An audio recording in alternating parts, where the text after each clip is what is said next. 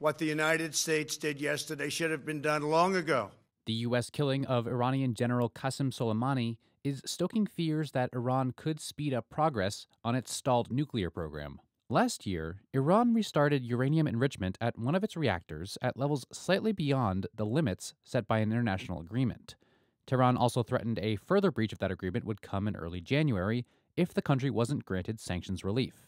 That breach is now expected within days, and Soleimani's killing could prompt Iran to take more severe steps. Experts say that may even include clamping down on the international monitors surveying its program. Iran has been gradually breaking away in stages from the deal designed to limit the country's nuclear activities, ever since President Trump pulled out of that agreement in 2018. The other nations involved in the Iran nuclear deal China, France, Germany, Russia, and the UK have been quietly sustaining the agreement, hoping to persuade both sides to return to their obligations under the deal.